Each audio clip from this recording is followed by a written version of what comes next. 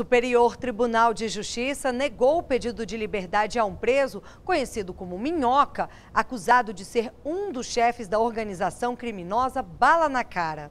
O homem foi preso em operação que investiga a célula jurídica do grupo. Segundo o Ministério Público do Rio Grande do Sul, a organização é especializada no tráfico de drogas. Para manter o grupo, eles também praticavam homicídios e comércio ilegal de armas de fogo. De acordo com a denúncia do Ministério Público Gaúcho, o acusado aconselhava os líderes a tomar certas decisões nos processos judiciais e investigações em andamento com o intuito de burlar a lei.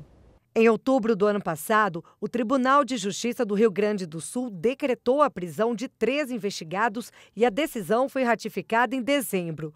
No STJ, a defesa pediu a revogação da prisão preventiva, alegando que os acusados não foram citados para responder à ação cautelar. Além disso, nenhum dos advogados ficou ciente da existência dessa demanda e nem foram intimados para comparecer à sessão de julgamento. O presidente da corte, ministro João Otávio de Noronha, negou o pedido.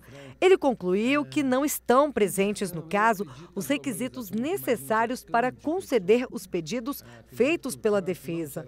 O mérito do habeas corpus será julgado pela sexta turma do STJ.